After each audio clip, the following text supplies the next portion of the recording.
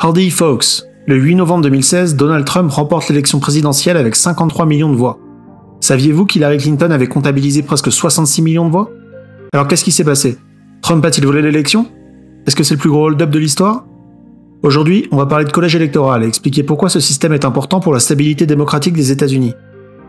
Vous êtes sur The American Dream et regardez American Ethos, l'émission où on parle de ce qu'il fait l'essence de la culture américaine.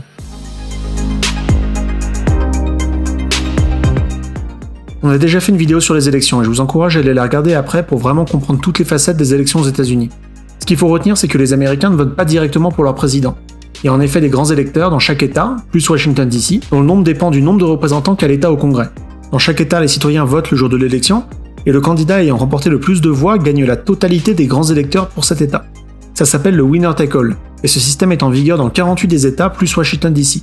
Le Maine et le Nebraska font figure d'exception ici puisque ces deux États sont les seuls à attribuer un nombre de grands électeurs proportionnel au nombre de votes.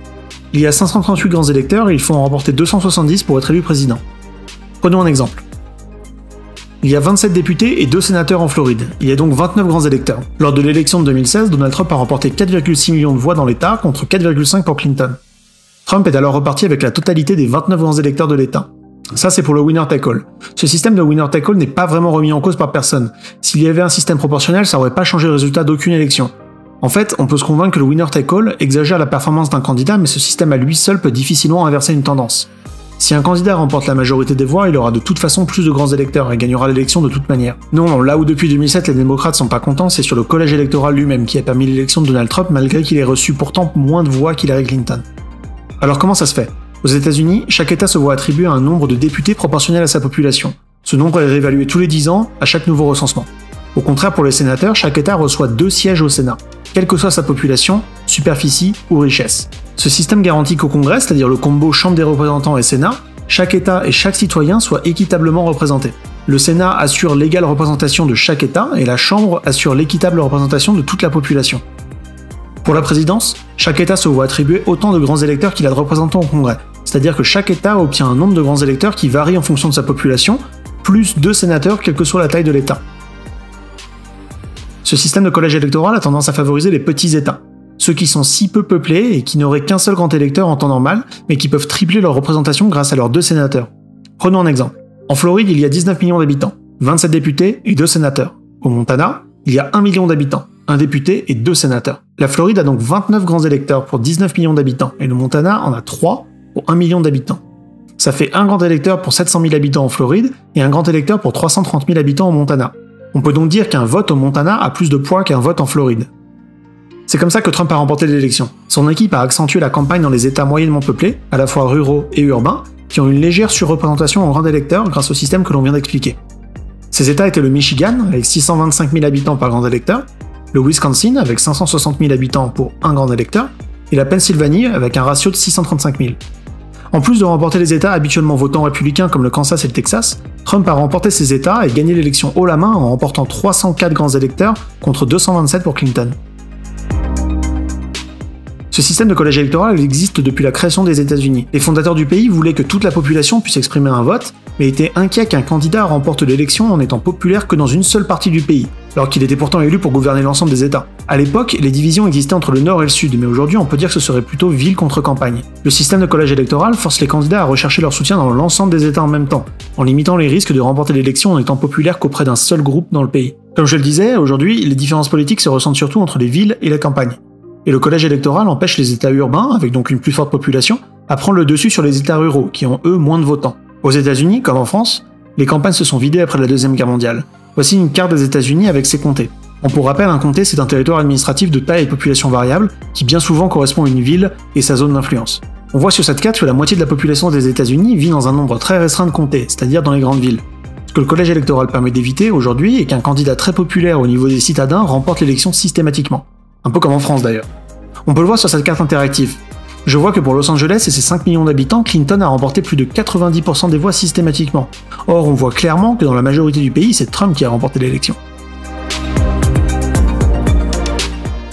Maintenant, je dois rappeler que les États-Unis sont une fédération d'États. On a tendance à l'oublier vu la taille du gouvernement fédéral actuel, mais les États américains sont toujours très indépendants. Ils ont leur propre loi, leur propre constitution et leur propre système de vote. Il y a fort à parier que cette coalition d'États n'aurait jamais tenu 250 ans sans le collège électoral qui force les candidats à la présidence à être populaires dans l'ensemble du pays. Les États urbains auraient déjà imposé leur vision cosmopolite et socialiste à l'ensemble du pays, et à l'époque, les États du Sud n'auraient jamais rejoint l'Union si la Constitution ne leur garantissait pas une certaine représentation. Voilà donc l'intérêt du collège électoral, assurer la représentation de chaque État dans le vote final pour la présidence, et pas seulement celui de la majorité de la population qui habite dans une poignée d'États. S'il y avait aux États-Unis un système de type un vote est égal à une voix, oui, Hillary Clinton aurait remporté l'élection en 2016. Et c'est bien pour ça que les démocrates de nos jours veulent remettre en question le collège électoral. Ils sont pas satisfaits de l'élection, mais sont pas satisfaits du système qui les oblige à être populaires aussi bien en ville qu'à la campagne. Il n'y avait aucune plainte en 2008 lorsque Barack Obama a remporté 67% des grands électeurs. Non, les plaintes arrivent maintenant qu'ils présentent des candidats aussi peu charismatiques qu'Hillary Clinton et Joe Biden et se plaignent que le système soit contre eux. Bon allez, je résume. Aux États-Unis, les Américains ne votent pas directement pour le président, mais pour des grands électeurs. Le nombre de grands électeurs par État dépend du nombre d'habitants, mais quoi qu'il arrive, un État aura toujours au moins 3 grands électeurs. Ce minimum fait que les États peu peuplés sont surreprésentés par rapport aux États majoritairement urbains très peuplés. Ce système permet de ne délaisser aucun État lors de l'élection présidentielle, parce que je le rappelle, les États-Unis sont un ensemble d'États indépendants, et le Wyoming n'aurait aucun intérêt à avoir rejoint l'Union si tous les lois étaient décidées par Los Angeles et New York.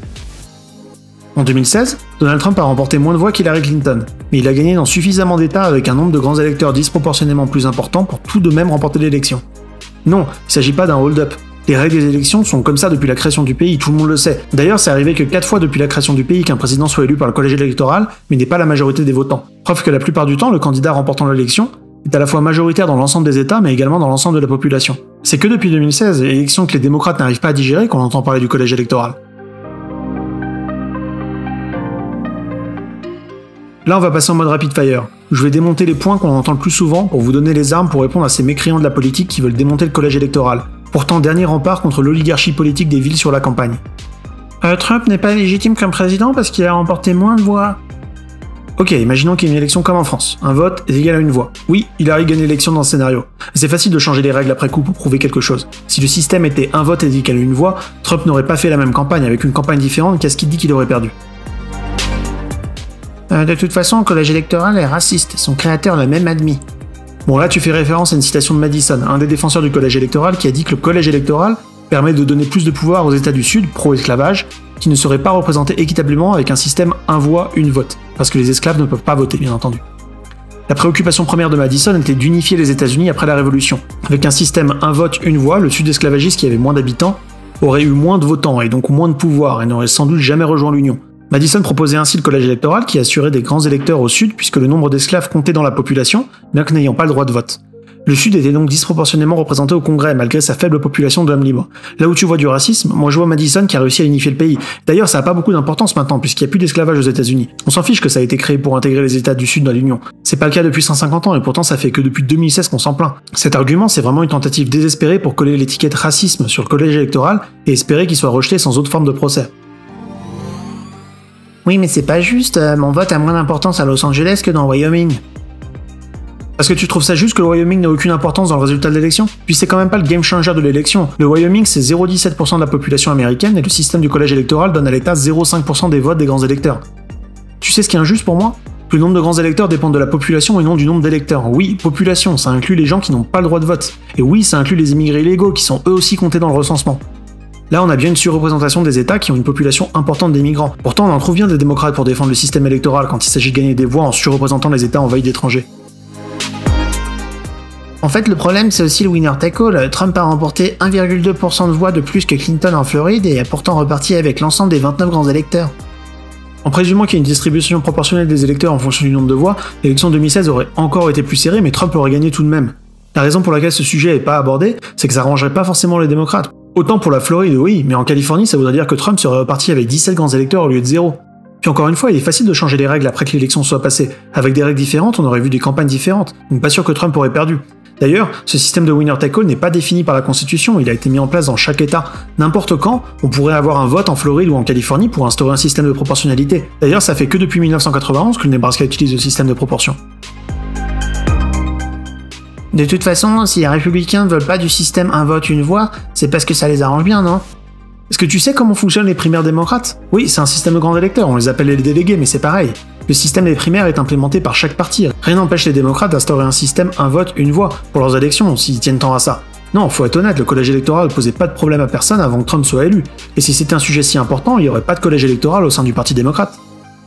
Bon, on va s'arrêter là pour aujourd'hui. Le collège électoral est un système important pour les démocraties américaines. Sans lui, le pays n'aurait pas duré 250 ans et on aurait une situation comme en France où les grandes villes gouvernent le pays. Dans la très grande majorité des élections, le gagnant a à la fois remporté le vote populaire et le collège électoral. C'est vraiment que depuis 2016 et l'élection de Donald Trump que ça vient chouiner.